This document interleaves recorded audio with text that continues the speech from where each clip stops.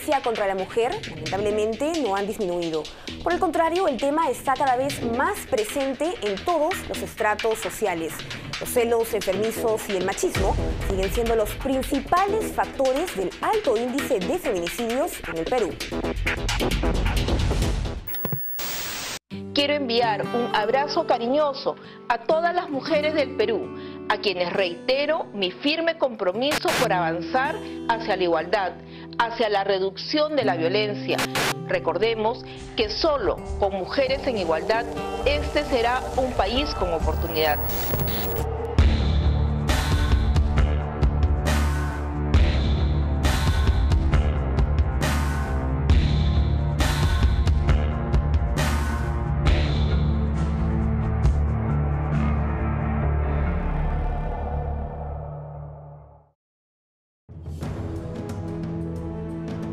Lo largo de la historia, el papel de la mujer ha cambiado drásticamente. El tiempo ha permitido que nos convirtamos en líderes y activas participantes de la sociedad. Sin embargo, una sombra aún nos persigue y es la continua lucha por cesar la violencia de género, un tema que, lamentablemente, aún protagonizamos con dramatismo.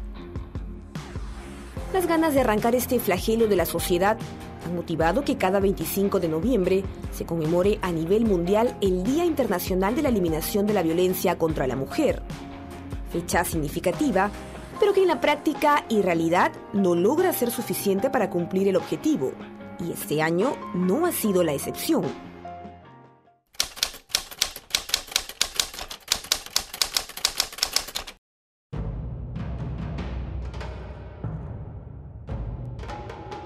Adriano Manuel Pozo Arias no le importó estar desnudo en la recepción de un hotel en el distrito de San Juan Bautista para agredir salvajemente a su ahora expareja Cindy Arlet Contreras Bautista. Imágenes de la cámara de seguridad del local muestran al joven de 26 años jaloneando, golpeando y arrastrando de los cabellos en más de una ocasión a la mujer, Tú no me vas a dejar, prefiero verte muerta. Miren que déjame, dejen auxilio, auxilio. Yo pedí auxilio. Rompí las barandas y salí de las barandas porque yo ejercía fuerza. No quería ir porque sabía que si él me volvía a meter al cuarto me iba a matar. La ira del agresor se desató luego de que la joven decidiera terminar la relación con él.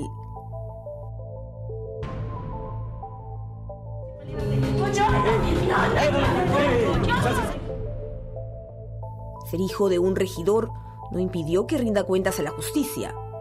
Él está recluido en un centro penitenciario mientras dura el proceso por intento de violación y tentativa de feminicidio.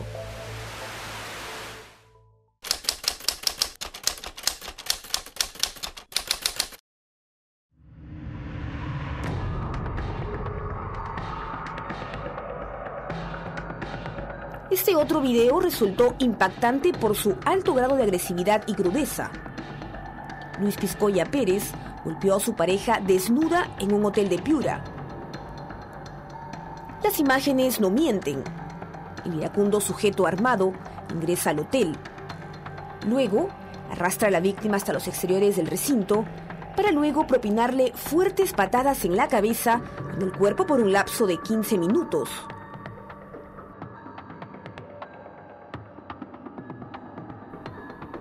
Escandaloso de este caso fue que la víctima, Misui Chávez, se mostró apenada por la orden de prisión preventiva dictada contra su agresor e incluso manifestó seguir amándolo. Yo he regresado con él por mi propia voluntad, más no por bajo amenaza de nadie, porque yo no le tengo miedo a nadie. Yo siempre me sabido defender. Si aquella noche yo también estaba tomada.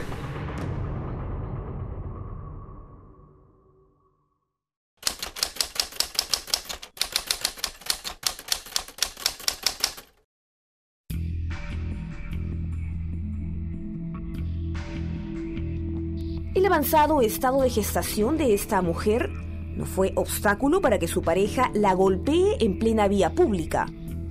Ella, posiblemente harta de los abusos, arremete contra el sujeto. ¿Toda la vida me vas a pegar? ¿Toda la vida me vas a pegar? ¿Toda la vida me vas a pegar? Personal de seguridad se percató de la situación y socorrió a la gestante. Pese a todo, Gina Estrella González tampoco denunció a su pareja. Lo defendió y dijo que solo se le pasó la mano.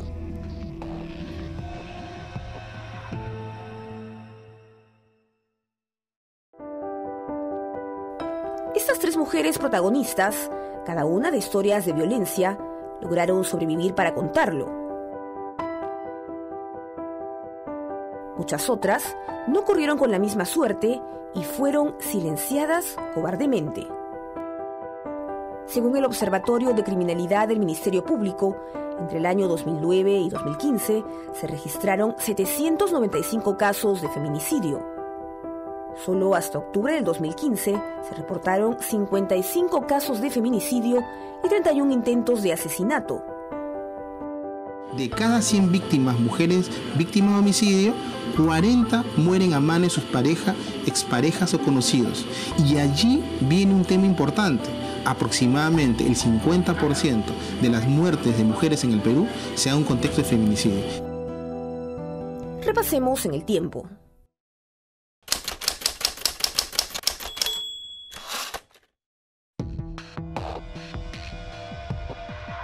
Macabro hallazgo remeció el país. Una mujer de 27 años y madre de tres niños fue encontrada muerta dentro de esta maleta. A Giovanna Román Macote la abandonaron en una de las laderas del río Rímac, en Carapongo, a Tevitarte. Néstor Yauri Inga, el hombre que alguna vez le prometió amor eterno, fue el verdugo que puso fin a sus días. Con una comba y bajo la sombra de la vivienda que ocupaban, la golpeó salvajemente una y otra vez. Sin remordimientos, introdujo el cuerpo en una maleta y lo abandonó. En su intento por huir del país, fue detenido en Pucallpa y terminó confesándolo todo. Esa misma semana, Emily Neira Beltrán había sido acuchillada por su conviviente y padre de tres hijos. En un arranque de celos, Wilson Gomestito no dudó en arrebatarle la vida.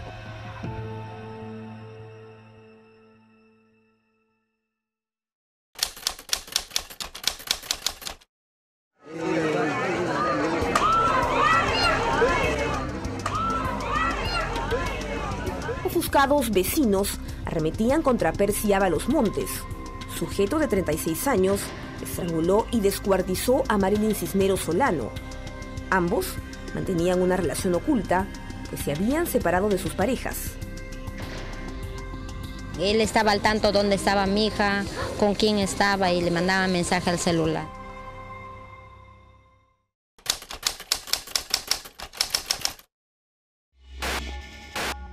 No quería retomar la relación con su expareja, le costó la vida. Lisette Castillo Cepeda fue asesinada de tres puñaladas en su vivienda de Puente Piedra. Su hermana señaló que el hombre ya la había amenazado en varias oportunidades. Cualquier error, cualquier muerte va a culminar con ustedes, nada La más. había amenazado. La había amenazado ya varias veces.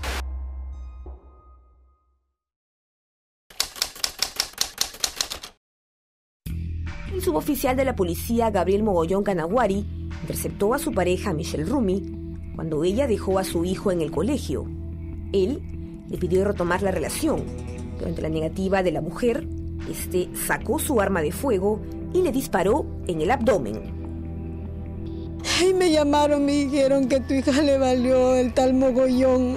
La amenazaba, le ahorcó, la metió un lápiz, un lápiz en el cuello y su hijito vio eso. Todos estos casos se repite el mismo patrón. Existe una delgada línea entre la vida y la muerte, una muerte impuesta y provocada por el odio. La violencia que vivimos no se gesta como un evento aislado, no, es producto evidentemente de una sociedad y de familias que permiten la violencia precoz desde muy pequeños en sus niños y que luego terminan en cosas tan graves, tragedias con las que estamos observando. Para el psicoterapeuta Ricarte Cortés, La muerte es consecuencia de una serie de maltratos que la víctima debe saber identificar y denunciar. Según las cifras del Ministerio de la Mujer, unas 74 mujeres fueron asesinadas en lo que va del año, mientras que 148 se salvaron de morir. Esta es una realidad lamentable y no una percepción. Por ello, el presidente de la República promulgó una norma que busca prevenir y erradicar la violencia contra la mujer. Las personas que agredan físicamente a cualquier integrante de su familia serán castigados hasta con 15 años de cárcel.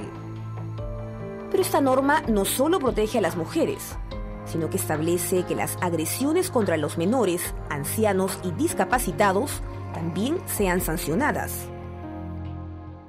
No te calles. Si eres varón, no te calles. Súmate a la campaña contra la violencia y cuando estamos frente a una situación de violencia y sabemos que ha habido una agresión, denunciemos porque nosotros desde el Ministerio de la Mujer vamos a pedir una sanción ejemplar.